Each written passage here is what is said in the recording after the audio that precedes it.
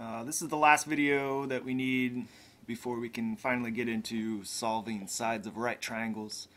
Uh, how do we solve equations with square roots and how do we use square roots to solve equations? So again, kind of similar stuff we've been talking about in these last few videos here.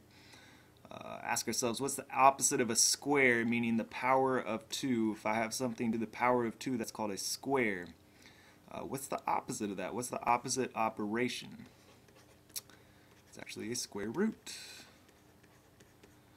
um, so this radical symbol right here is a square root and that is the opposite of a square these two operations are opposites just like Dividing and multiplying are opposite operations. Adding and subtracting are opposite operations. Uh, squares or powers of 2 are opposite operations of radicals or square roots here. The opposite of a square root is a square. And it's kind of confusing when talking about squares and square roots since they have the same word here.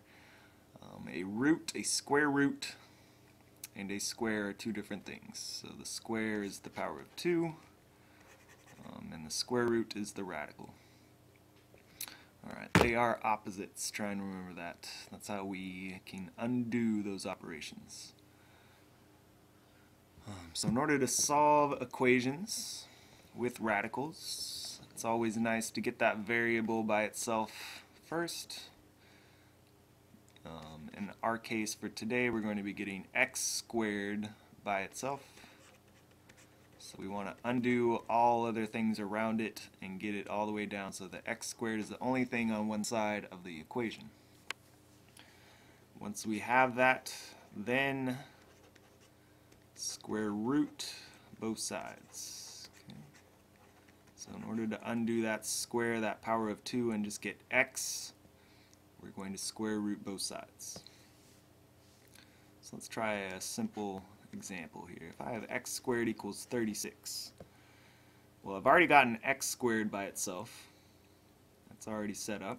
So let's square root both sides. If I square root a square, that all goes away and I'm left with x, which is what I want. And if I know what the square root of 36 is, it's just 6 then I have solved my equation.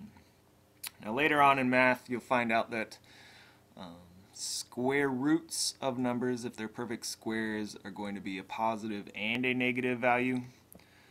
Um, so just keep that in mind for later purposes. For our purposes right now, since we're going to be solving for lengths of triangles, we're only going to be dealing with positive values. So the square root of 36 for our purpose is just positive 6 do another example here. Let's get a little more complicated with our equation. Supposed to be a 2 there. 2 squared plus x squared equals 4 squared. Okay, so we want to solve everything first, or simplify, and then solve, sorry. So 2 squared is 4.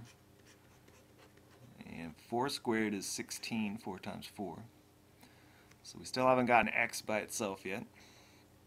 But if we subtract 4 from both sides, getting rid of that positive 4, then what's left is x squared on the left side, and 16 minus 4 is 12 on the right side.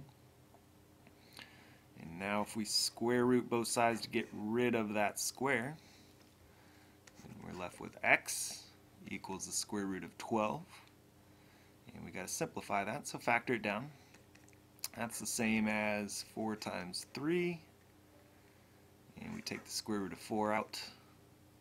And so we got 2 on the front, and we still have radical 3. Or 2 times the square root of 3 is our final answer. Okay, let's do another example. Slightly more complicated still. Occasionally you may get a side of a triangle that is 3 times the square root of 2 or something similar to that. That's why we practiced simplifying just this little expression here on, um, what was it, two videos ago because um, we're going to be seeing a lot more of this later on. So what do we do? We distribute that exponent to both of these terms here. Uh, so 3 squared is 9, and the square root of 2 squared is just 2, so we got 9 times 2 right there, which ends up being 18, right? Let's drop everything else down. We got x squared in front of 18, and it equals 9 squared, which is 81, 9 times 9. So if we get x squared by itself, we would have to subtract 18 And we get x squared by itself on the left side. That's what we want. 81 minus 18. Well, if you subtract here, you get 63. So x squared equals 63. Now that we have x squared by itself, we square root both sides to get x. And we get the square root of 63. If you factor that down, Hopefully you know that's the same as 9 times 7. And we take the square root of 9 out. So we get 3 on the front and radical 7 left over. So our final answer is 3 times the square root of 7. Alright, so let's keep practicing. Just more of the same really. Again, we want x squared by itself, simplify anything else we need to. In this case, we got to simplify these exponents first. So 3 squared is 9, 4 squared is 16, and add these up. 9 plus 16 is 25. So 25 equals x squared. Now we got x squared by itself. Everything else is simplified, so let's square root both sides. And we get x equals square root of 25 is 5.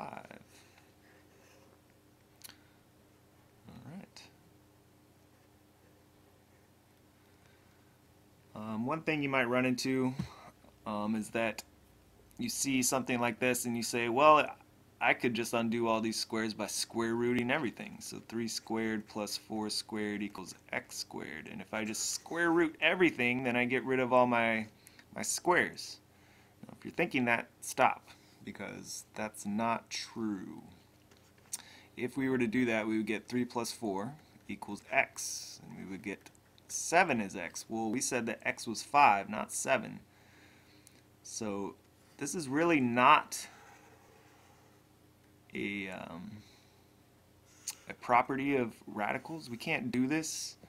Um, there's no sum property of radicals. I can't break this up into the square root of 3 squared plus the square root of 4 squared and then simplify. It just doesn't work. There's no property for sum of radicals. There's only quotients and products. So do not do this. Simplify everything first and then square root both sides.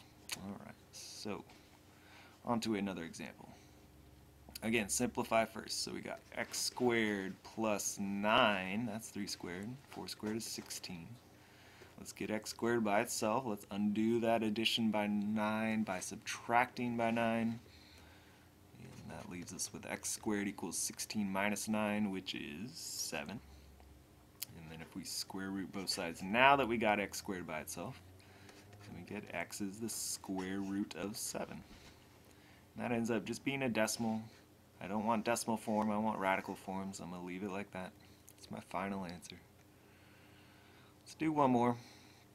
Again, we're going to see this example here. If we're squaring something that looks like this, we got to distribute this little exponent to each of these numbers here. So we get 5 squared, which is 25, and the square root of 2 squared, which is just 2. So that simplifies to 25 times 2, which is 50. Get 50 on the right side. 5 squared is 25, and we got x squared. Ooh, ooh. Let's try that again x squared plus 25 equals 50. So to get x squared by itself, subtract 25, and we get x squared equals 25. And by now, hopefully you know what the square root of 25 is. So if we square root both sides, we get x equals 5. That's our final answer. All right. So this is really leading us into um, solving for missing sides of right triangles using what's called the Pythagorean theorem. Um, and the Pythagorean theorem looks a lot like what these examples are looking like here. So that's why we had to learn all of our radical math, um, multiplying, solving, dividing, all so we can do this trick called the Pythagorean theorem. And that will be our next video, so I'll see you there.